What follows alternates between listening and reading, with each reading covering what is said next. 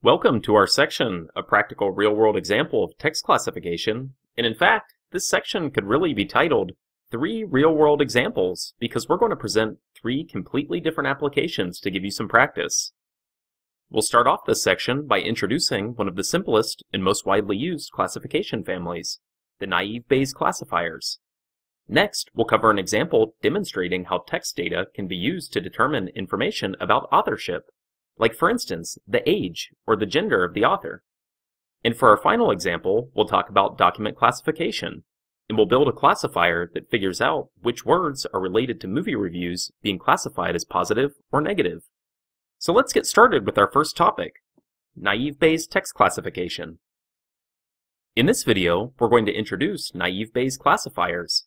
We'll discuss why it's one of the most commonly used classifiers in natural language processing, and finally, we'll walk through an example to demonstrate how we can identify useful features and use them to build a naive Bayes classifier.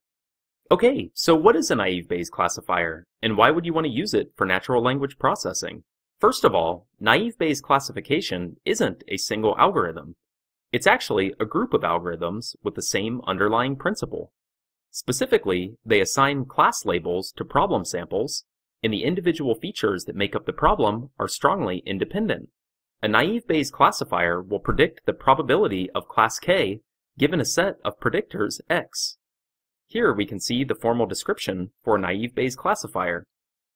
We commonly use naive Bayes classifiers because they can be trained efficiently and scale well to large datasets.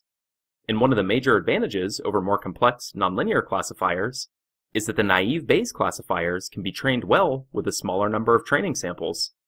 Let's get started and open a Jupyter Notebook by launching the command prompt and typing Jupyter Notebook and pressing enter. And now we'll just go to New, Python 3, and open our new Jupyter Notebook. The first step when creating a classifier is figuring out which features are relevant to the classification task, and then encoding them to create a feature set. In Python, we can create functions that return a dictionary for each feature we wish to include.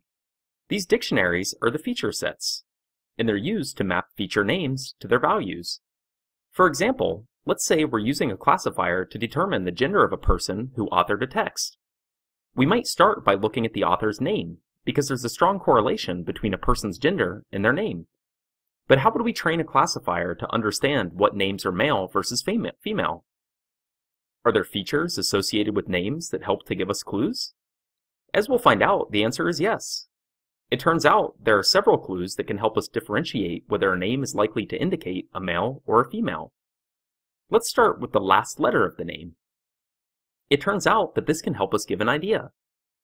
Names ending in A, E, and I are likely to be female, while names ending in K, O, R, S, and T are likely to be male. We can create a feature that captures the last letter of the name using a function. This function will take a name as its argument and return a dictionary mapping the feature with its value. In this case, the name with the name's final letter. Let's define it like this. Here we can see that we've made a function called gender features that takes an argument called word and it will return a dictionary with what we're calling last letter and return the last letter of the word. Let's pass a name into this function to see the output. We can see the expected output, a dictionary containing the feature and the value, or the last letter and the letter E. Now that we've defined a feature extraction function, we need a list of examples to work with. Fortunately for us, NLTK includes a names corpus, Let's import it and use it to create a list of labeled names. We can do that by typing the following. From nltk.corpus import names, and then we'll create a tuple called labeled names,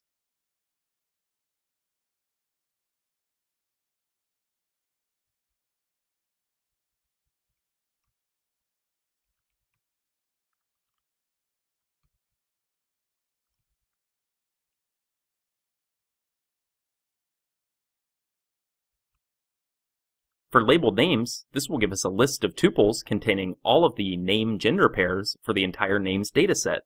Now let's shuffle them up by typing import random and then random.shuffle and we'll pass in as an argument the labeled names variable. Now we'll create a list of feature sets using the feature extractor that we created earlier. We can do that by typing the following.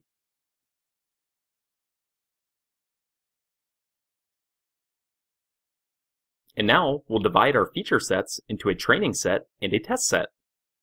We can do that by typing the following. And finally, we'll define our na naive Bayes classifier and train it with the training set we just created. We'll do that by typing import nltk, and then we'll create our classifier variable and set that equal to nltk.naivebayesclassifier.train, and we'll pass in the train set as an argument. Now that we've trained our naive Bayes classifier, let's test it out and see how it works. We can do that for the name David by typing classifier.classify, and then we'll pass in as an argument the gender features function with David passed into it. We can see here that the classifier has properly classified the name David as male.